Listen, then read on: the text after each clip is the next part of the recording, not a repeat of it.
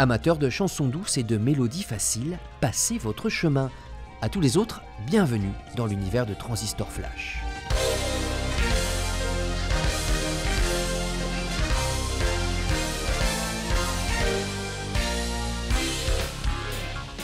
Derrière cette orgie de son, Jean-Luc Charras, alias Sox, un vétéran de la scène underground périgourdine qui a joué aussi bien du punk que du jazz et fait de l'illustration sonore.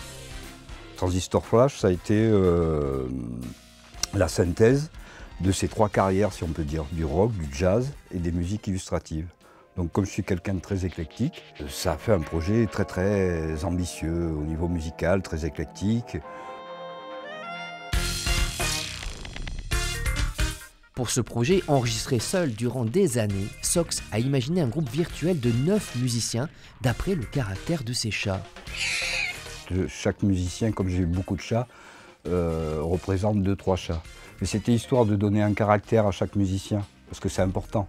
Ces chats ont abusé de nombreux instruments pour l'album de Transistor Flash, dont certains assez curieux. Alors ça c'est un instrument avant électronique qu'on appelle les oui 5000. On peut donc mettre des sons de synthé etc. Il y a un petit repère pour l'octave centrale. Vous pouvez faire des glissando. Vous pouvez passer le doigt là et ça fait des montées comme ce qu'on entend là dans le morceau Box.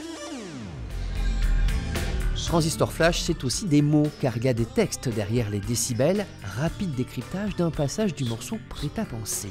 Il y a une espèce de transgression de la Marseillaise à tous les salauds de la patrie. Le jour de foire est arrivé, contre nous du prêt à penser. Tant de dards sanglants sont glorifiés.